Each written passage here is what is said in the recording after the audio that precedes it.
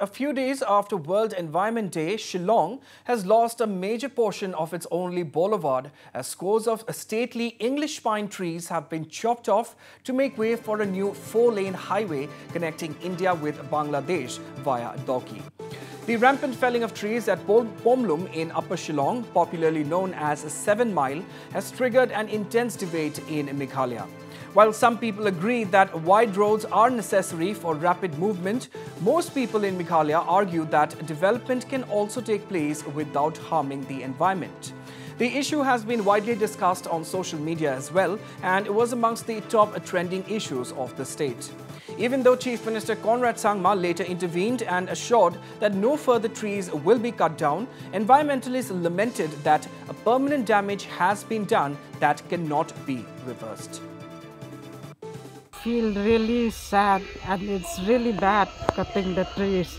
It destroys the nature beauty and the beauty of the place is gone. Those trees have been there for so many years. So suddenly if you cut the trees, the place will look different. The environment will be affected and so many after effects will be there. No, they should have proper planning before constructing the road. Planning should be there so that they'll see that even if the trees are cut down, very few trees will be cut down. Those are on the line of the road. But then cutting down trees just like that, it's really without proper planning, without... Uh, proper discussion or I don't know without proper checking of the place or whatever they have done. Development also is required no? at the same time but even at the cost of the environment and now it's painful to see that all the trees that has been for decades, no? 100 years, more than 100 years now, it's been cut like that. So the road also we have to broaden the road because it's been a very high time to for development and but like I said at the cost of nature then I cannot see what what can be and speaking on the issue, West Shillong MLA Mohendro Rapsang said that uh, such developments cannot be encouraged, but added that the state government should also ensure that it plants 10 trees in place of one that has been chopped off in the name of progress. See, uh, we need development also. We need to ease up the traffic. We need expansion of roads as the number of vehicles are increasing. Cutting of trees has to be done to for expansion of road, but replanting of trees has to be carried on by the government. If they cut one tree, they should grow 10 trees. So the more they cut the trees there, the more they have to plant more trees in the barren area. So that we cannot stop development. But we are sacrificing, no doubt, but if we cut trees, we should grow also more trees. That is what development is. On the other hand, State Forest and Environment Minister James Sangma allayed fears of the people who were concerned about the felling of trees in the Pomlum area of Upper Shillong.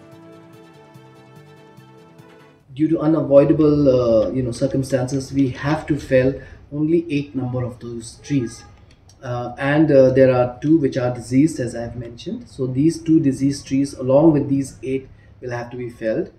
But um, we are uh, very very conscious about the fact that these uh, whatever trees are being felled we have to compensate that and for that uh, the compensatory afforestation afforestation will be taking place and uh, you know the government is very very very concerned about this and we are always very um, uh, mindful of the fact that uh, trees uh, are very important. That's why the right of way requirement also has been reduced, and NHIDCL has been uh, very, very uh, cooperative to ensure that uh, that standard 45 to 60 meters from the median has been reduced to 24 meters.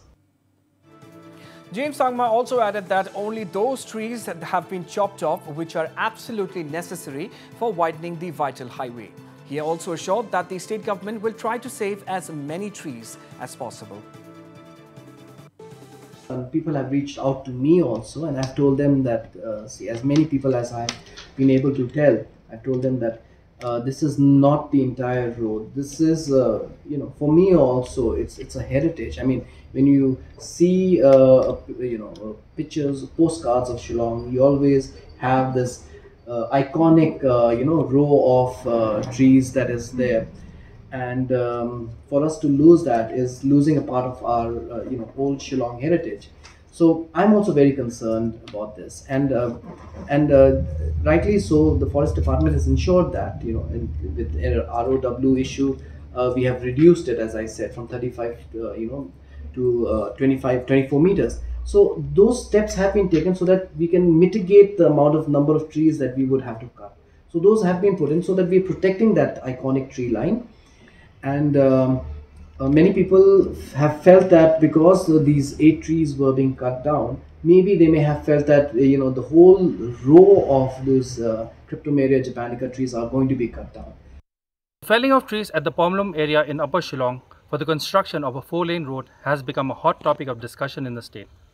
While many argue against the cutting, of, cutting down of these iconic trees, there are many commuters who feel that this is necessary to ease the traffic in the city.